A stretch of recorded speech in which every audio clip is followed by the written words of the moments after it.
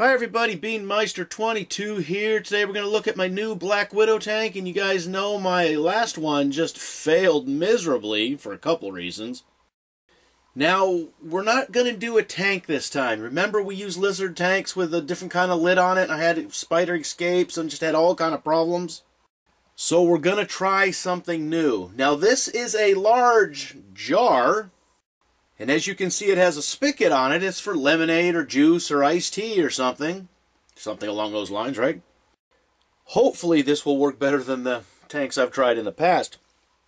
Now what we had to do on this, we have to plug up the bottom where the spigot is because we don't want the Black Widow figuring out how to get out that spigot.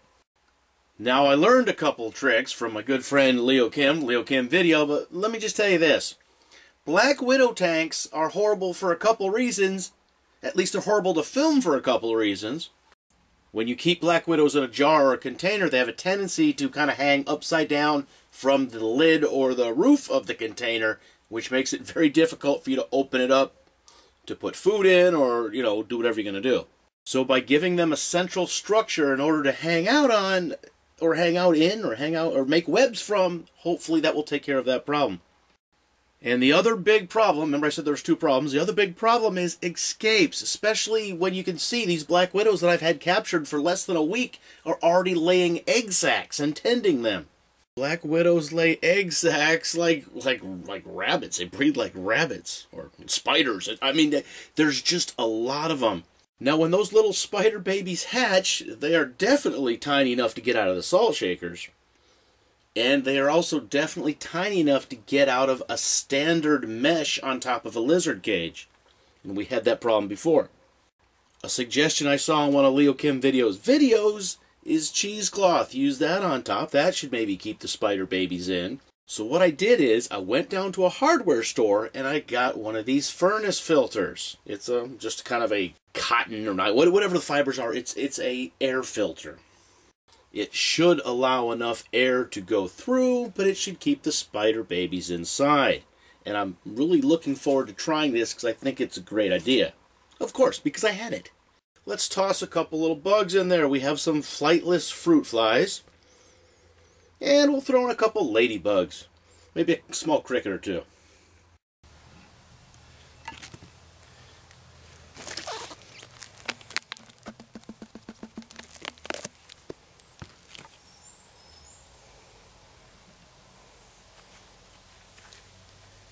So with the center structure anchored down, it's not going to go anywhere. We have the filter attached to the lid, holes in the lid.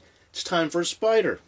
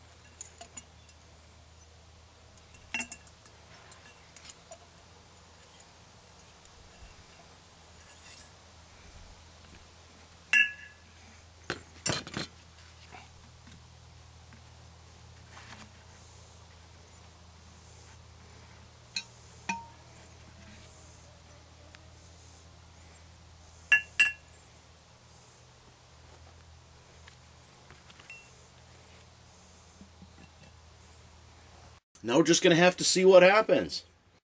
So what do you think? Is this a better idea to do it this way than the last Black Widow spider tank we had? So leave your comments in the comments section. Hey, as always, thanks for watching. And yes, I hate Black Widows, but they're all over my house. Remember, redback spiders are just like Black Widow spiders, except they live in Australia, and they probably speak with an Australian accent.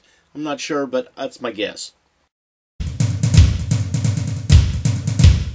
Meister 22, the most dangerous man on YouTube.